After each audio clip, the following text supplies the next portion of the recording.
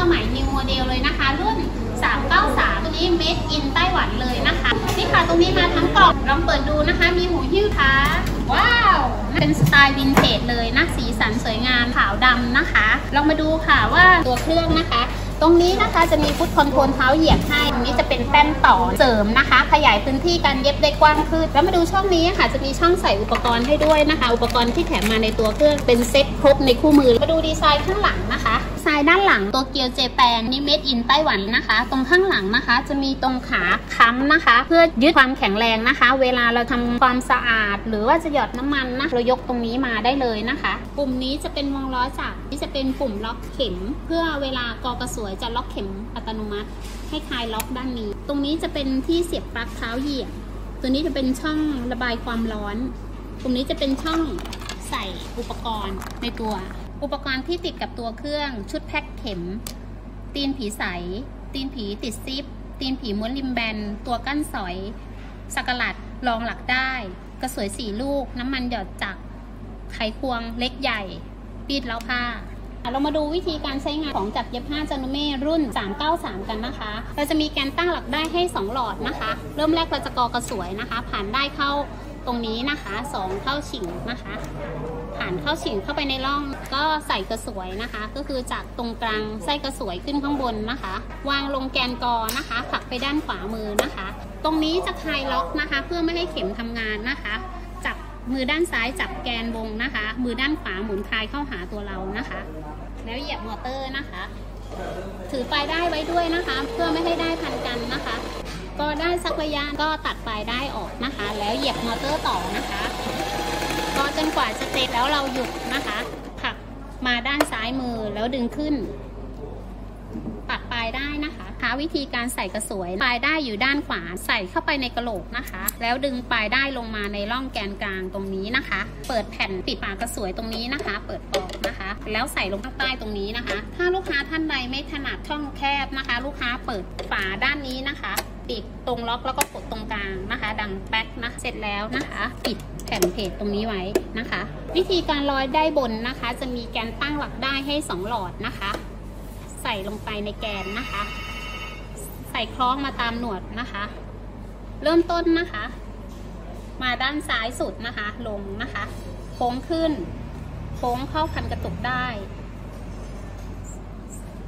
ลากลงมาใส่หนวดกุ้งนะคะ คล้องไว้ด้านซ้ายหรือด้านขวาก็ได้นะคะ เสร็จแล้วใส่เข็มจากตรงหน้าไปข้างหลังนะคะหนึ่งปลายได้นะคะ ได้ลักษณะนี้แล้วนะคะ หมุนวงล้อจักรเข้าหาตัวเรานะคะ ค่ะ เรามาดูฟังก์ชันการใช้งานของจักรเย็บผ้าจานุเม่รุ่น 393 กันนะคะ ตรงนี้จะมีปุ่มปรับความตึงหย่อนของเส้นได้อันนี้จะเป็นระดับแรงกดทับผ้านะคะ ปรับได้นะคะ 3 ระดับ ปุ่มนี้จะเป็นปุ่มเลือกลาย ปุ่มนี้จะเป็นปุ่มปรับลาย A B C ปุ่มนี้จะเป็นปุ่มความถี่ห่างของฝีเข็ม ปุ่มนี้ปุ่มย้ำ ตัวนี้จะเป็นตัวล็อก ล็อกตัวเครื่องกับฐาน วิธีการเลือกลายนะคะ ตรงนี้จะตั้งค่าเข็มตรง ปรับให้ตรงกับช่องนี้นะคะ ตัวนี้จะเลือกลาย เช่น ต้องการลาย D ปรับปุ่มนี้ไปที่ D จะมี D สองสี D สีเหลือง ถ้า D สีเหลืองให้ใช้ความถี่ห่างตรงนี้เพิ่มนะคะ0ถึงเลข4ยิ่งเลขมากก็คือยิ่งห่างขึ้น จะกลายเป็นลาย D สีเหลือง เช่น นี้ห่างระดับ4ถ้าปรับไปที่เบอร์น้อยลงก็จะถี่ลายที่ออกมาก็จะเป็นทางแป้นลายนะคะถี่แล้วก็ห่าง เราต้องการลายสีเขียวให้ปรับปุ่มปรับเลือกตรงนี้ตั้งที่สัญลักษณ์ SS สัญลักษณ์สีเขียว เช่นลาย D D สีเขียว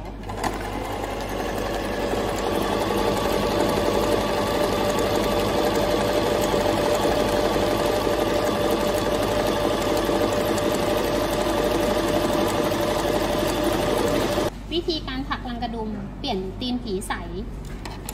กดคลิปออนค่ะ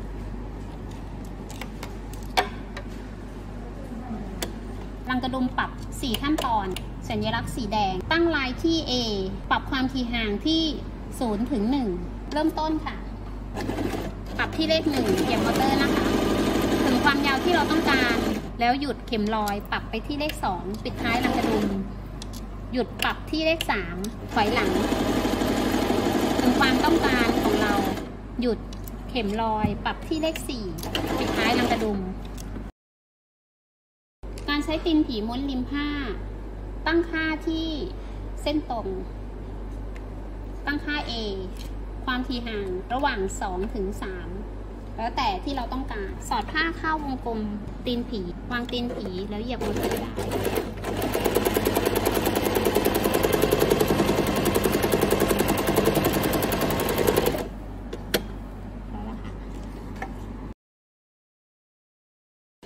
ซิป ใช้ติงผีติดซิปได้เลือกลายเส้นตรงปกติ ตั้งค่า A ความถี่ห่าง